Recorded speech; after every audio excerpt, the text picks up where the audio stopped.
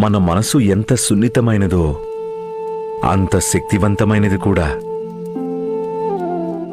ఒకవేళ మన మనసు నమ్మిందనుకో మనకి ఎలాంటి చెడు జరగదని. అప్పుడు ఖచ్చితంగా జరగదు. అదేవిధంగా మన మనసు ఇది నమ్మిందనుకో ఏదో చెడు జరుగుతుంది అని. అప్పుడు అది జరిగే తీరుతుంది.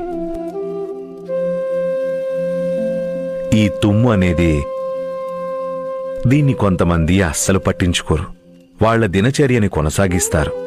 వాళ్ళ విషయంలో ఎలాంటి చెడు జరగదు. కాని ఎవరైతే దీన్ని అపశకనం అనుకుంటారో వాళ్ళని వాళ్ళు చాలా భయపెట్టుకుంటారు.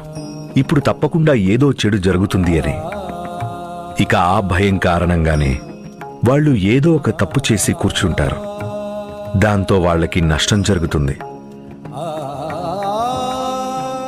తుమ్ము పిల్లి ఎదురు. ఇవి ఏవీ మనకు నష్టం కలిగించవు. నష్టం ఎప్పుడు కలుగుతుందంటే మనుషుల ఆలోచనలు హానికారకమైనప్పుడు.